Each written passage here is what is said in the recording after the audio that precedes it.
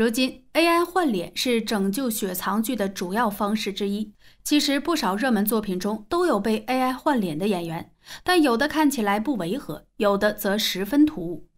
一《甄嬛传》，《甄嬛传》可以说是这十年里最经久不衰的清宫剧了，不少网友都曾二刷、三刷过，以至于该剧中的很多角色都被大家扒了出来，其中就被扒出沈眉庄的丫鬟是 AI 换脸的。众所周知，沈眉庄有两个心腹丫鬟，一个是彩月，一个是彩霞。彩月的戏份较多，所以大家也比较熟悉；而彩霞的戏份并不多，在一些大全景镜头中可以看到她，但可以明显看出她的脸部抠图痕迹明显，对比来看就有些不自然。彩霞的扮演者是刘露，她因大闹火车站，自称自己是公众人物，拒不配合现场工作人员，还叫嚣道：“你完了。”造成了不好的影响。不仅如此，刘露在另一部剧《三千鸦杀》里也被换脸了。她在剧中原本饰演的是青青一角，但 AI 换脸后就显得脸部非常不自然，脸部轮廓和阴影处都明显看出是被换了。就连演员表上的名字，她也被换成了张鼎鼎。其实刘露是南京艺术学院表演系的科班生，原本前途不错，还是芒果的签约艺人。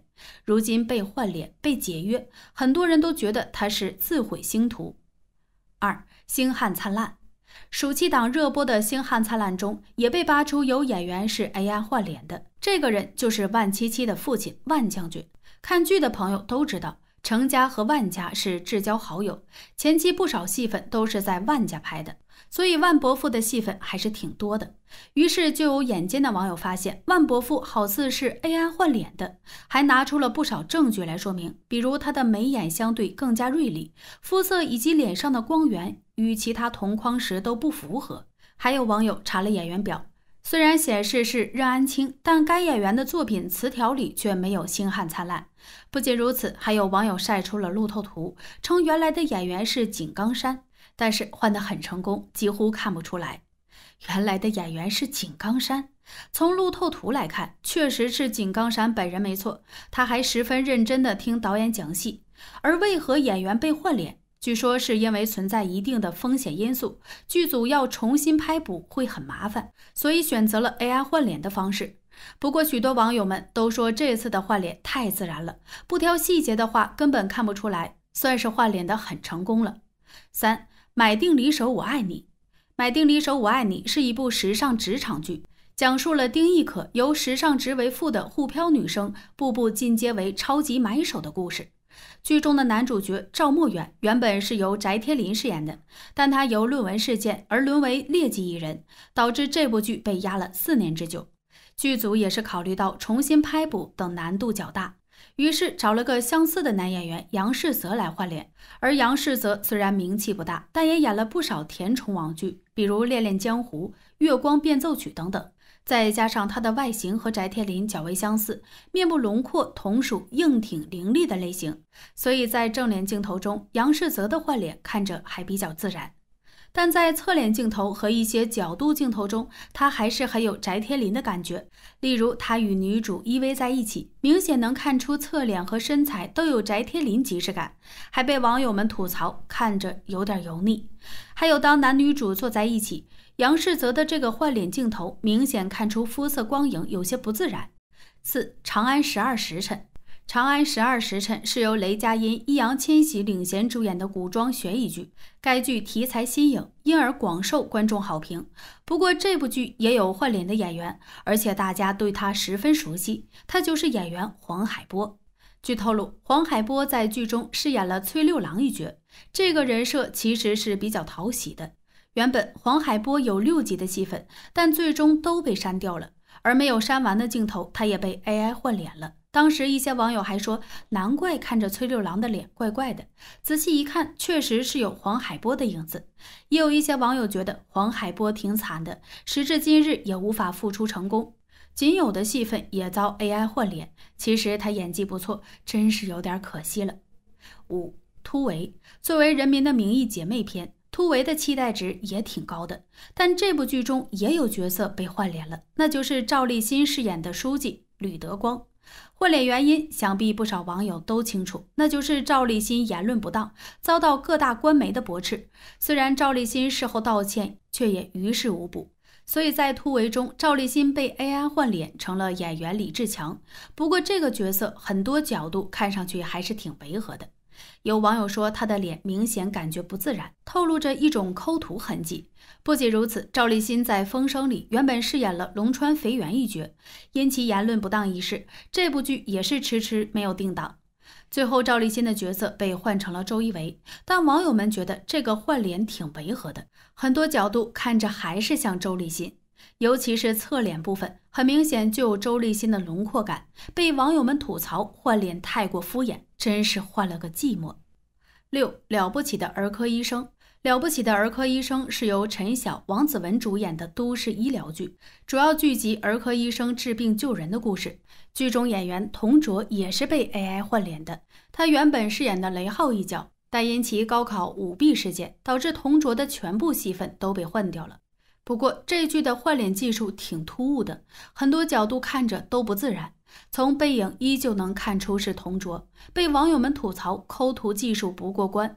对于 AI 换脸一事，同桌本人也发文回应了，并表示自己没有收取片酬，还担心剧不能播出，好在最终播出了，并感恩了剧组的提携。其实 AI 换脸技术如今在很多影视剧中都有，尤其是一些劣迹艺人。导致作品面临被雪藏的风险，不少剧组只能选择换脸这种方式来保证作品上线播出，也是挺令人感慨的。接下来说吴磊和赵露思的《星汉灿烂》，精彩，但是也有漏点。